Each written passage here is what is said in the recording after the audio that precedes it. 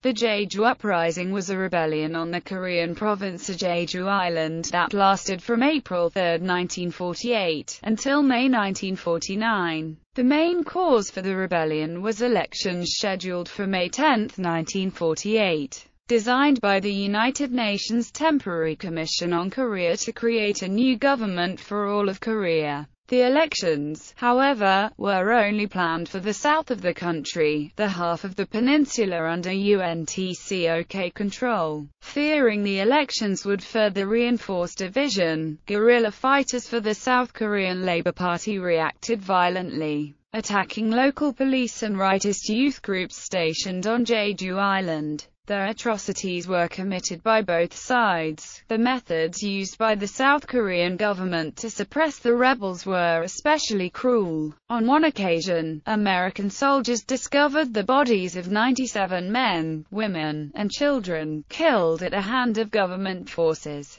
On another, American soldiers caught government police forces in the act of carrying out a gruesome execution of 76 villages including women and children. In the end, about 30,000 people died as a result of the rebellion, or 10% of the island's total population. Some 40,000 others fled to Japan to escape the fighting. In the decades after the uprising, memory of the event was brutally suppressed by the government through strict punishment. Only in 2006, more than 60 years after the rebellion, did the Korean government finally apologize for its role in the killings. Although the government simultaneously promised reparations, as of 2010, nothing had been done to this end. Background After Japan surrendered to Allied forces on 15 August 1945, Korea's 35 years of Japanese occupation finally came to an end.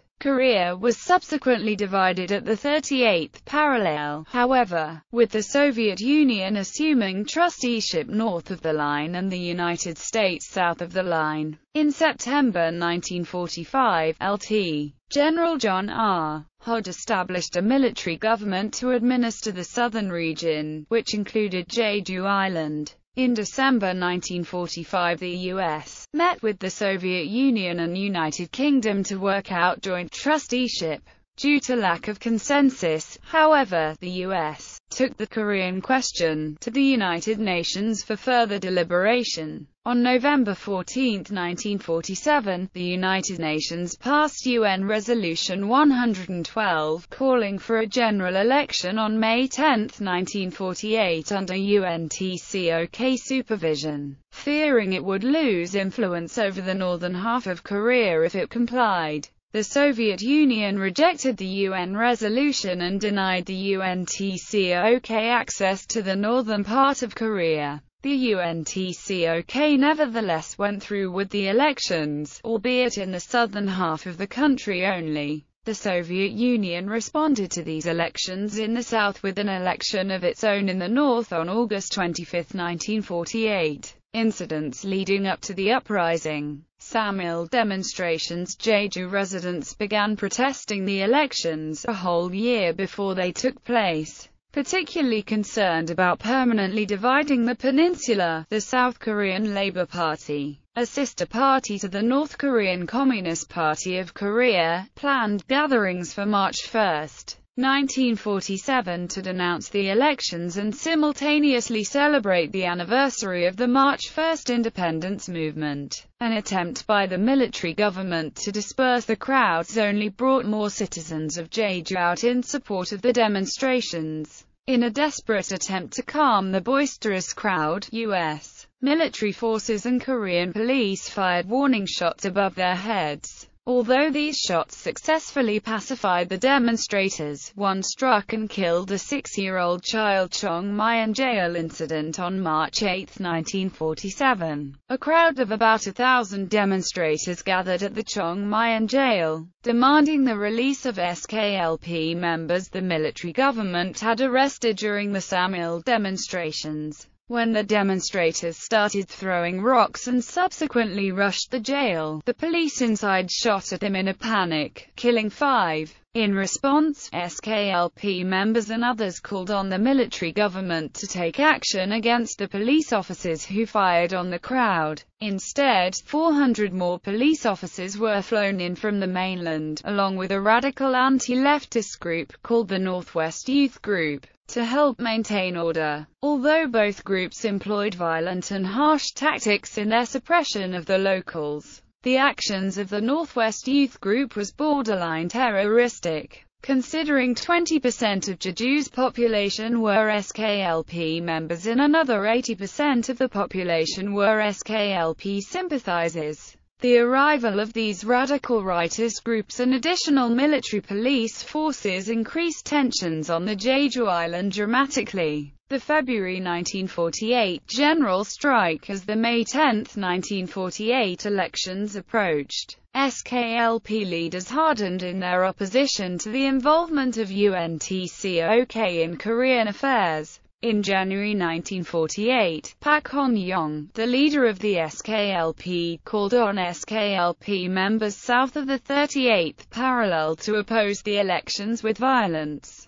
On Jeju, SKLP members responded to this call by attacking government installations and engaging with police forces in open conflict. These engagements between SKLP guerrillas and rightist groups and police continued through March 1948. Rebellion April 3, 1948 Although skirmishes had been taking place on Jeju Island since early 1947, April 3, 1948 is remembered as the day the Jeju Uprising officially began. Some sources claim it came about when military police fired on a demonstration commemorating the Korean struggle against Japanese rule, igniting mass insurrection. Other sources, however, make no mention of this demonstration incident, and claim that SKLP plans to attack on April 3, 1948 had been in the works for some time. Whatever the case, provoked or unprovoked, on April 3, 1948,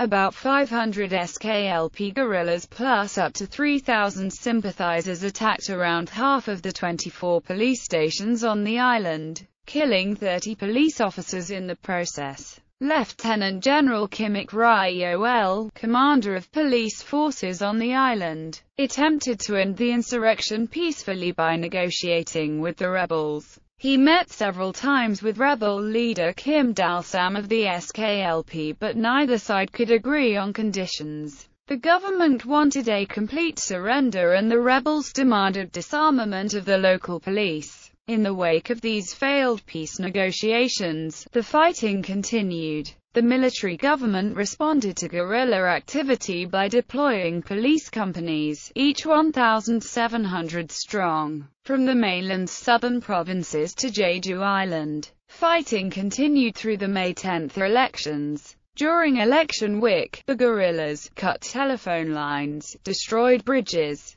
and blocked roads with piles of stones to disrupt communications, sporadic arson, violent demonstrations and attacks on government installations effectively disrupted the elections. August 1948 underground elections and Yosu rebellion Although guerrilla activities waned during the summer months of 1948, they picked up again after the Soviet Union held elections north of the 38th parallel to form the Democratic People's Republic of Korea. In conjunction with these elections, the Communists organized underground elections for those wanting to participate south of the 38th parallel, including on Jeju Island. Although the turnout of these elections is disputed, they certainly succeeded at emboldening SKLP military forces. In the months following the elections, conditions got so bad, Republic of Korea officials decided to send the 14th Regiment, stationed near the southern port city of Yosu, to Jeju Island to assist counter-guerrilla efforts. Not wanting to murder the people of Jeju, however, these troops rebelled on October 20, 1948, just as they were preparing to depart.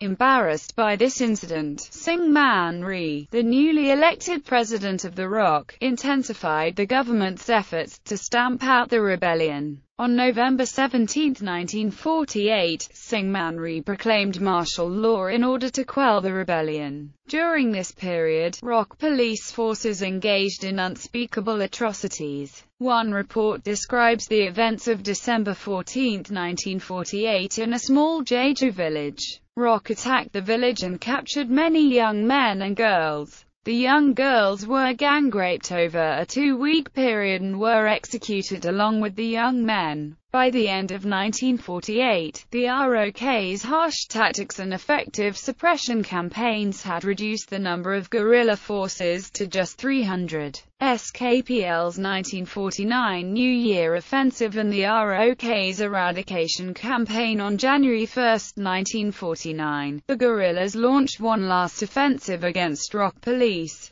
They attacked at Odong-ni and Jeju City, but were beaten back by rock police and driven to the island's interior mountains. Rock police pursued the guerrillas and continued to commit gross atrocities, including mass killings of villagers. The ROC, now determined to destroy the remaining SKLP guerrillas, launched an eradication campaign in March 1949. During the campaign, 2,345 guerrillas and 1,668 civilians were killed. With the campaign now effectively over, the ROC held elections on Jeju Island to fill the province's empty seats in the National Assembly. Jeju Island was now effectively and symbolically under ROC jurisdiction. American involvement at the time of the uprising, the island was controlled by the United States Army military government in Korea. Only a small number of Americans were present.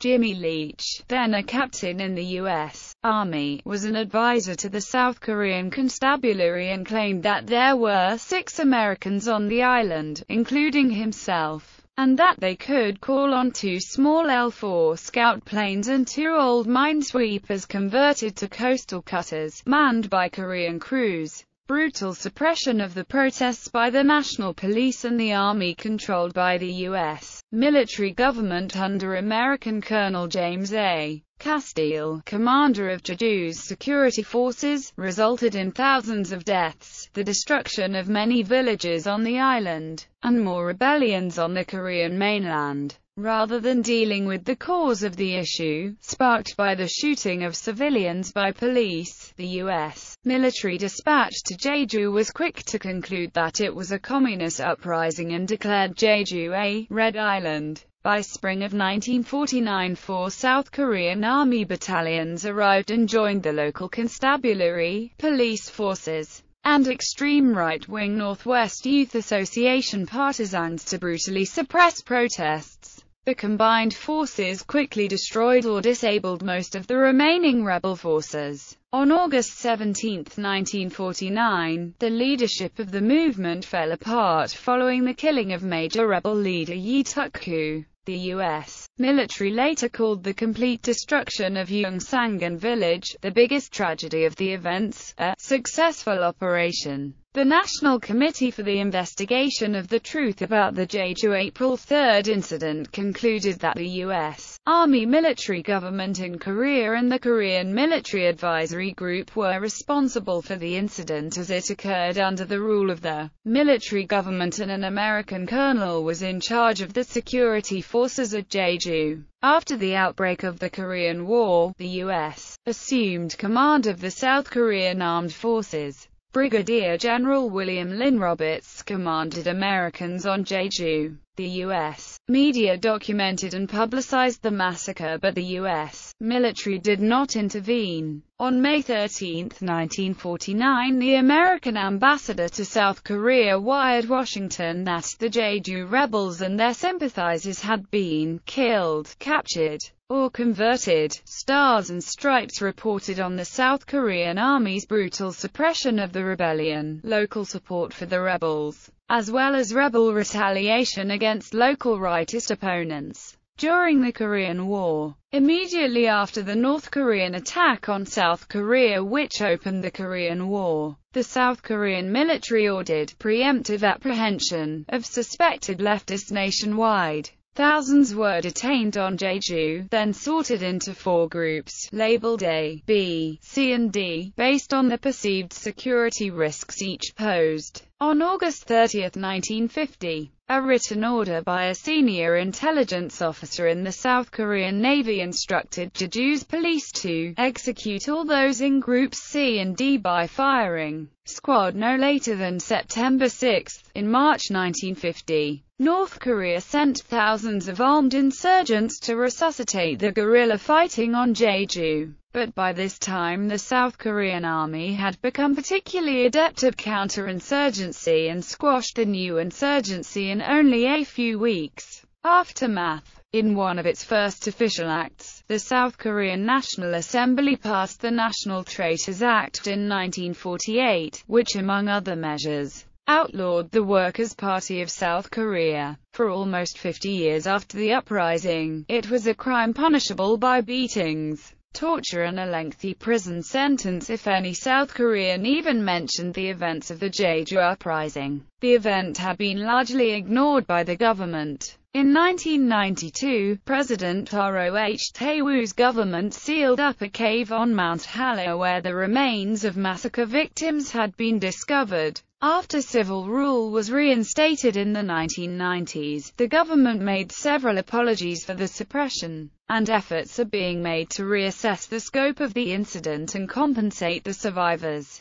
In October 2003, President ROH Hyun apologized to the Jeju people for the brutal suppression of the uprising, stating, Due to wrongful decisions of the government, many innocent people of Jeju suffered many casualties and destruction of their homes. ROH had made the first apology as South Korean president for the 1948 massacre. In March 2009, the Truth and Reconciliation Commission confirmed its findings that, at least 20,000 people jailed for taking part in the popular uprisings in Jeju, Yosu and Suncheon, were accused of being communists, were massacred in some 20 prisons across the country, when the Korean War broke out. The Commission reported 14,373 victims, 86% at the hands of the security forces and 13.9% at the hands of armed rebels, and estimated that the total death toll was as high as 30,000. Some 70% of the island's 230 villages were burned to the ground and over 39,000 houses were destroyed. Of the 400 villages before the uprising only 170 remained afterwards. In 2008, bodies of massacre victims were discovered in a mass grave near Jeju International Airport. In popular media, Jiseul is a 2012 South Korean film about Jeju residents during the uprising. Zainichi Korean writer Sokpok Kim has written a novel Kazanta about the event. His work is seen as controversial in South Korea and he has been denied entry to the country twice.